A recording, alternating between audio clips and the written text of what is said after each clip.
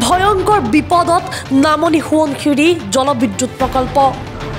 হুৰাহুৰে খহিছে পাহাৰৰ বৃহৎ অংশ। গেৰুকামুখৰ নদী বান্ধত ভয়ংকৰ ভূমিস্খলন। হঠাতে খহি পৰিছে বৃহৎ পাহাৰৰ এটা অংশ। প্ৰচণ্ড শব্দ কৰি এনেদৰে খহি পৰিছে ভূমি।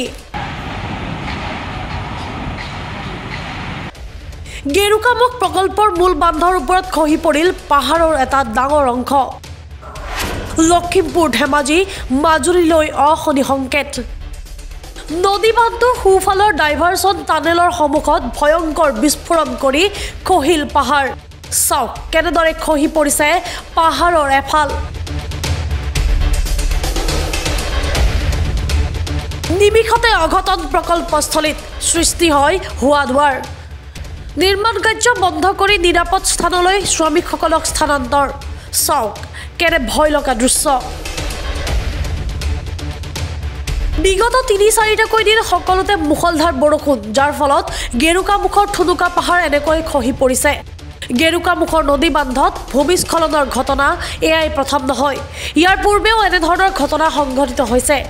চলিত বছৰৰ জুন মাহত হয়তো পাঁচশ মেগাৱাট বিদ্যুৎ উৎপাদন হোৱাৰ কথা আছিল প্ৰকল্পটোত।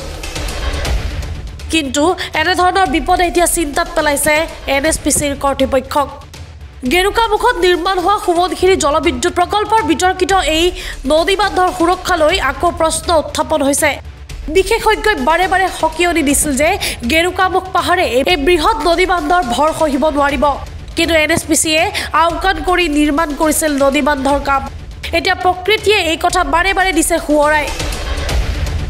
এই ভয়াৱহ ভূমিস্খলনে বান্ধ নাই ভঙা যদিও অনাগত দিনত এনেদৰেই যদি পাহাৰৰ বৃহৎ বৃহৎ অংশ খহি পৰে তেনেহ'লে লখিমপুৰ ধেমাজি আৰু মাজুলীলৈ যে মহাবিপদ মাতি আনিব তাৰ আশংকা আছে। News desk time. এইট